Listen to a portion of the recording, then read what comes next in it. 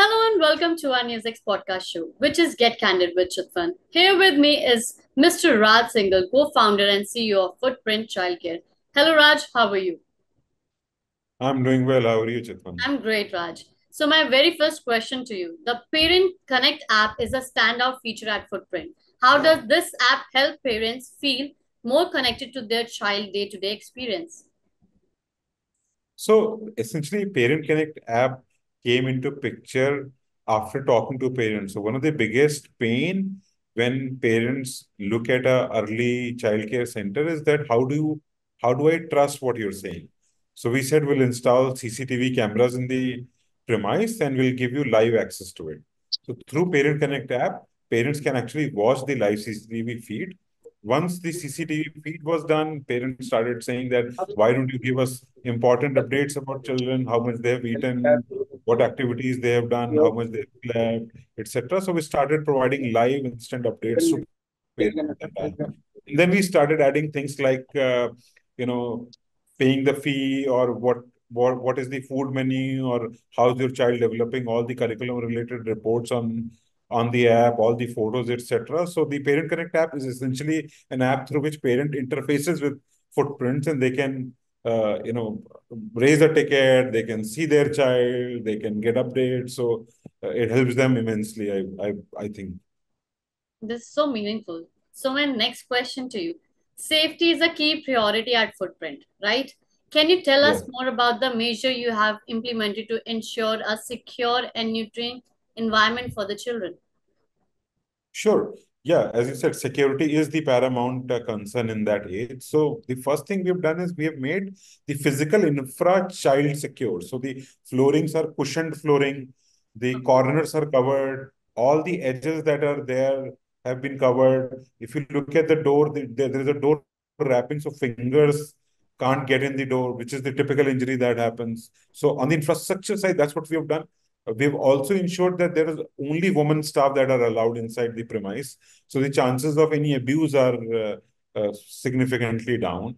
And all the staff that can get into the center, they have to be biometrically verified. So they can only get in after putting their fingerprint. So not, not anybody can just walk into the center. Uh, similarly, all the staff is background check uh, for their background. And then there is a medical checkup also to uh, ensure that there is no communicable disease that staff is carrying. And then there are regular trainings uh, to sensitize uh, the staff and how to deal with children, how to communicate with children. Uh, so those are the things that we do on uh, uh, security. The the one of the latest things that we've started doing on security is we've started using AI. So what we now do, is we analyze the CCTV feed through an AI algorithm, and we are able to detect instances when the there is no supervision, adult supervision of a child. So that ensures that we get an alarm the moment there is no adult in the room, uh, because that's when the injuries typically happen. So we're able to detect that. We're also able to now find out how many times the cleaning has happened in the room for how long. So we've been able to uh, do that with 98% accuracy. That allows us to ensure hygiene at our centers also. So nice. So my next question to you, the HighScope curriculum is central to your educational psychology. What makes this curriculum so effective in fostering active learning and a love for education? Yeah, so uh, I mean, in early years, you, you will hear a lot of uh, curriculums uh, which are there, and there are a lot of players who use their in-house curriculum. We wanted to go with something which, which is which is a proven curriculum because in early years, I mean, till about six years of age, 90% of brain development happens.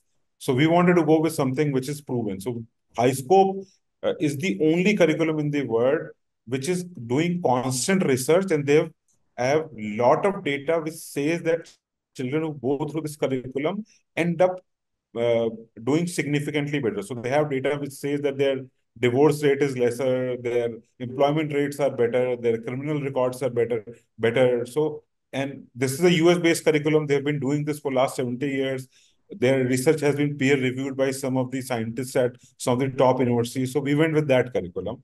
Uh, of course, we've Indianized that curriculum, but you know that's the curriculum that we use because that's the most scientific curriculum that exists in the early years. So nice. So, my next question to you Nutrition plays a vital role in child development. How does Footprint ensure that children receiving balanced, healthy meals during their time at the center? Right. So all the the entire uh, mm, food menu uh, is designed and governed by the central team. So the menu has been designed by a nutritionist, and we ensure that all our centers are following those guidelines. Because fundamentally, we believe that whatever habits you form, eating habits you form in the early years go a long way. If you start consuming a broccoli or a beetroot in your early years, then you'll develop a taste for it and most likely you'll consume that as you become older. So the idea is to start feeding those kind of vegetables, those kind of healthy nutrition to our children. So you will see in our menu things like a beetroot paratha uh, or a broccoli mm-hmm. pasta, those kind of things. So we we don't use any maida, no breads, no biscuit, of course, no soda, etc. at our centers. It's a completely healthy uh, menu, which is which is of course essential and forms the habit. So goes a long way in ensuring health. So every children love the food you you guys provided them. They like the food. Yeah. So, yeah. Basically, so what happens is children.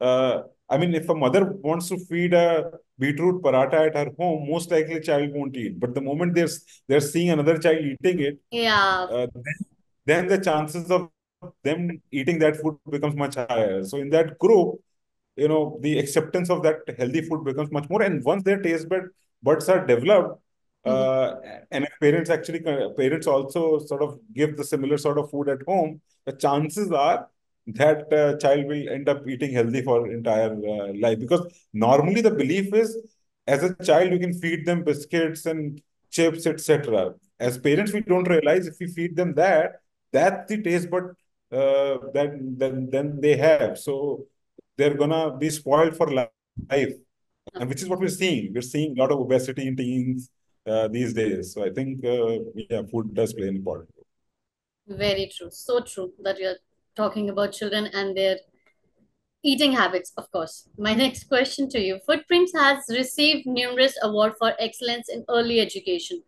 How do these accolades refer, reflect your complemented to quality and what do you mean for the future of the brand? Right. So, you know, I'll be brutally honest.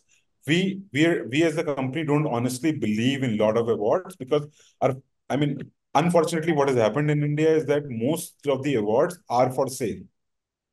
Uh, you know, so we're very clear that if somebody is giving us award uh, because of our good work that we are doing, because of our contribution, we're happy to take that award. But if we have to spend a penny uh, to get that award, we're not doing that.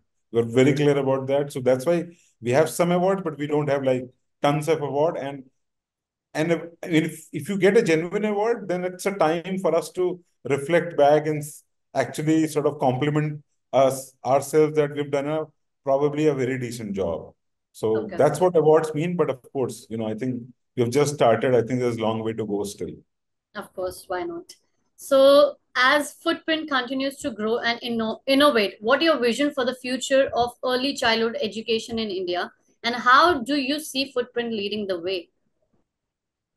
So yeah, I think uh, in last 10, 11 years that I've been in this industry, I think to some degree things have evolved. I think we were the first one to introduce uh, CCTV feed in the in the ecosystem. There was a lot of resistance, but I think more and more players are doing that, and that transparency is required given the child uh, child's age. So I think that way the trend is getting set. I think there's a lot more focus on the curriculum. Going forward, I see uh, the penetration of childcare would increase significantly in, in, in India. I mean, in India, in about only about five, six percent children go to preschool in that age.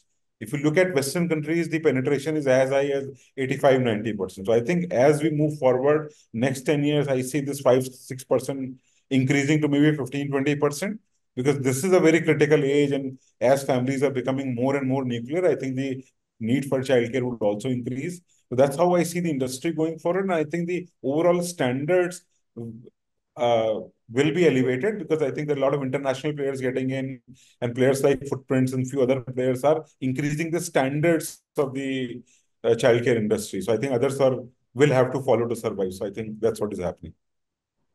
So nice. So with AI and advanced tech becoming increasingly common, how do you envision the future of early childhood education and what role do you see footprint playing in the landscape? Yeah, so I think I don't, uh, I am not a big favor of using technology, uh, especially the screen for young children. I think a lot of research has said that uh, that is not the most beneficial thing. In fact, that can harm children. So we don't use any, uh, you know, screen-based technology for children but uh, we do use technology in the background to create uh, lesson plans for children or as I said, for ensuring more safety and security, auditing that CCTV feed, or ensuring our lessons plans are getting delivered or not, we can monitor the audio of the CCTV feed and see how much the compliance was. Uh, so I think, unfortunately, in childcare industry worldwide, technology is not being used that much right now. So I think, uh, you know, you know, I I and two of my founders come from technology background, so I think we have that unique combination of understanding technology and childcare. So I think uh, we want to continue introducing more and more technology, but all that technology is either parent facing or to actually improve the quality of the uh, center in terms of security, hygiene, or curriculum delivery. So that's what I think will happen going forward, and people who will uh, will adopt will continue to flourish. People who who won't adopt will will probably have real difficult time surviving. Uh, and I think we're we're probably one of the uh, companies who are using technology quite a bit and will continue to use that. That's so good. So my last question to you, what are your plans for the next stage of growth for Footprint Childcare and how do you plan to continue innovating in the education space? So, uh, you know, we're, we're growing at a pretty, pretty rapid pace. We grew about 60% last year. And I think for next five, six years, I can see we growing at a similar pace, about 50, 60% every year. Uh, and, you know, becoming a sort of a pan-India company with uh, 800 centers in, let's say, next four years. Uh, we are right now at 150 centers. We're essentially making childcare available to every child in a metro in a tier A and maybe a few tier B cities. That's what we're looking uh, uh, to really do. Uh, and I think uh, as we spread in these cities, I think there are a lot more uh, players coming in, a lot more local players will have to increase their standards. So I think it'll eventually be beneficial for the entire ecosystem. teachers will get paid more, parents will have a better quality childcare available in their neighborhood. Uh, and I think a uh, lot more people who want to get into this industry, especially mothers, they will be able to get a lot more satisfaction out of pursuing their passion. So I think it's a win-win if you're able to execute our plan. Of course. Thank you, Raj. It's been truly inspiring to hear how Footprints is shaping the future of early childhood education through innovation it's reassuring to know that the leader like you prioritizing both education and a care at such foundational stage. Thank you for Get Candid with Chitvan.